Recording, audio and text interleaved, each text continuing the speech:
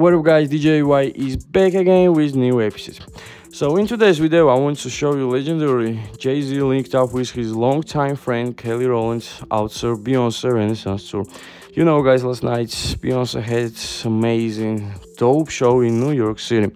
Guys, if you don't know, legendary Queen continues her successful Renaissance tour and she nearly left 10 plus shows in this year. If you are a true fan of B, you don't miss your opportunity to meet your hero, legendary Beyonce. Now guys, I want to show you last night footage where Jigga linked up with Kelly Rowland. Check this out.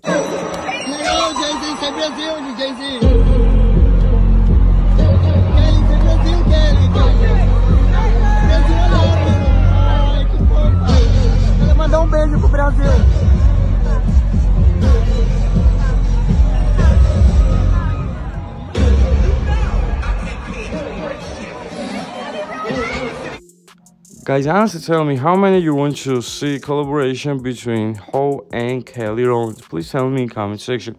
Honestly to say, I'm a big fan of J and B and I was always thinking about collaboration with Kelly Rowland. We need some Destiny Child's reunion or we need some collaboration between Jay-Z, Kelly Rowland and Beyonce. This would be so crazy.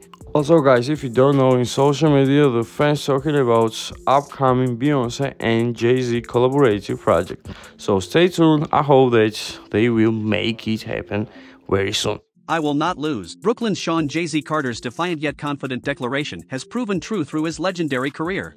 History is also on his side. He co founded Roc-A-Fella Records, collected 24 Grammys, ran hip hop's legendary Def Jam Records as president, guided Rihanna and Ye to billionaire status.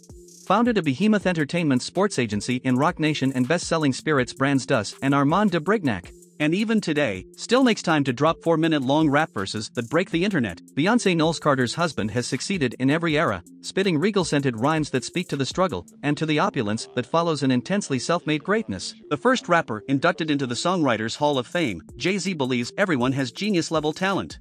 Lucky for us, Jay found his early in life and has since become your favorite rapper's favorite rapper. Maybe there are other rappers who could claim to match Jay at his peak.